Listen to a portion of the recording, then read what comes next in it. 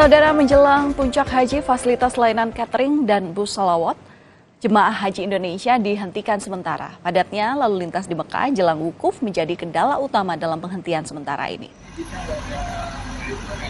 Distribusi, uh, maksud kami distribusi catering akan dihentikan selama tiga hari, yakni tanggal 26 Juni, tanggal 3, dan tanggal 4 Juli.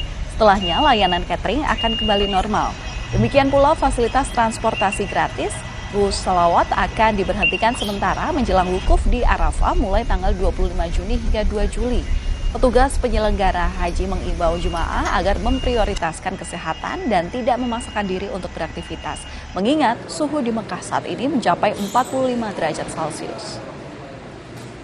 Jadi untuk catering emang betul akan berhenti di tanggal 7 ya tanggal 5 6 uh, jamaah masih akan mendapatkan catering. Nah, tanggal 7 itu uh, berhenti sehari. Kemudian tanggal 8 jamaah akan mendapatkan kembali karena kebetulan tanggal 8 kan jamaah mulai didorong ke Arafah ya. Uh, kemudian uh, setelah uh, apa di Arafah kan selama di Arafah full lah, full makan ya sampai 16 kali. Ada snack juga ya. Kemudian tanggal 14 15 berhenti juga. Nah, setelah itu langsung kembali lagi seperti semula. Jemaah Haji Indonesia mendapatkan bantuan kursi roda sebanyak 15 buah dari kantor urusan pelayanan jemaah Masjid Nabawi.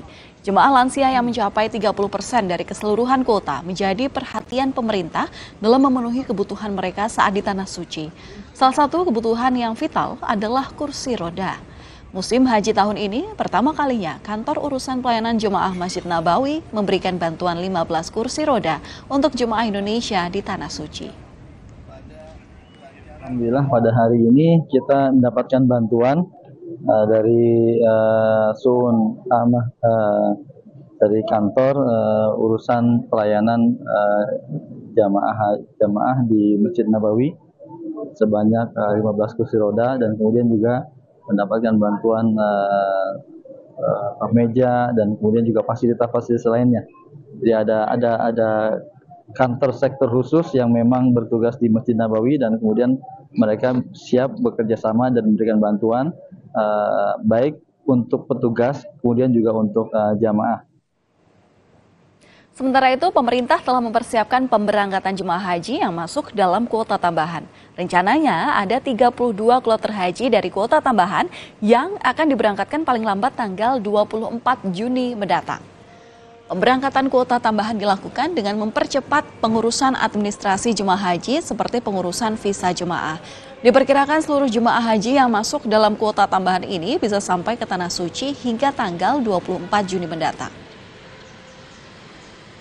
Semangatnya adalah sebagaimana dipesankan oleh Bapak Menteri Agama bahwa kuota tambahan itu tetap bisa dioptimalkan dan insya Allah penjadwalan juga sudah kita buat sampai tanggal eh, uh, 22 Juni uh, dan juga mungkin sebagian ini juga sedang kami negosiasikan untuk bisa berangkat 23 dan 24. Kita sedang uh, bekerja semaksimal mungkin untuk melakukan proses administrasi lebih cepat khususnya pemvisaan gitu ya, dari jamaah kuota tambahan ini.